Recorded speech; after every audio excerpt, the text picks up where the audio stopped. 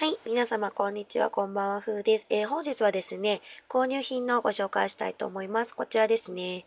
はい。スーパーの方に、ちょっと、えー、お買い物に行ったらですね、えお菓子売り場の方に、ラブライブブランコトということで、こちら売っていたので、まあ、娘が一つ選んで、あと私が一つ選んで、一つずつね、ちょっと買ってきました。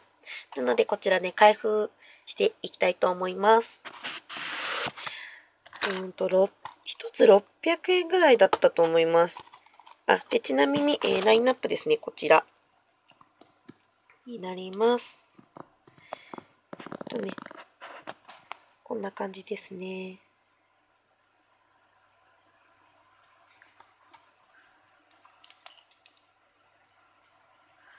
ということで、開けていきたいと思いますが、まあ、小鳥ちゃんかほのかちゃんが出てくれると嬉しいですね。で、ちなみにこちらは、えー、台座が、はい、ついていて、ツリー型かアーチ型の2種類ということですね。はい、こちらね、初めて私見かけました。結構もうみんな売ってるのかなということで、じゃあまず1つ目開けていきたいと思います。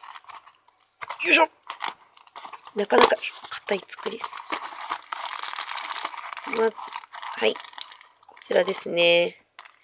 はい。ということで、あ、海ちゃんですね。はい。ちょっと開けてないんでわかんないけど。はい、そうですね。はい。こちら、海ちゃんですね。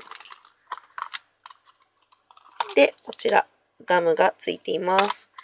あともう一つですね。じゃあ、開けていきたいと思います。かぶりじゃなきゃいいんですけど。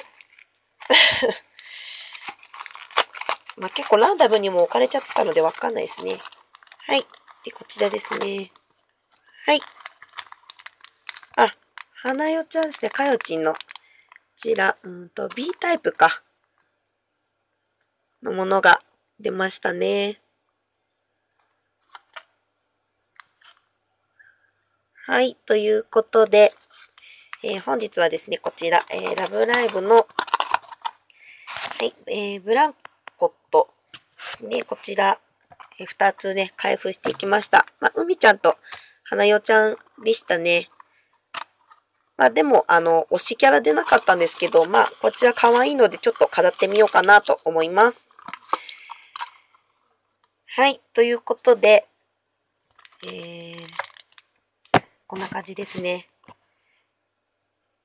はい。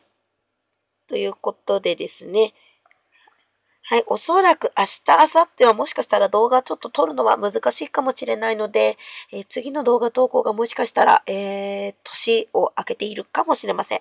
でももし、えー、動画が投稿できるようだったら、えしますね。ということで、すいません。後半ちょっとダラダラしてしまったんですけども、最後までご視聴していただきありがとうございました。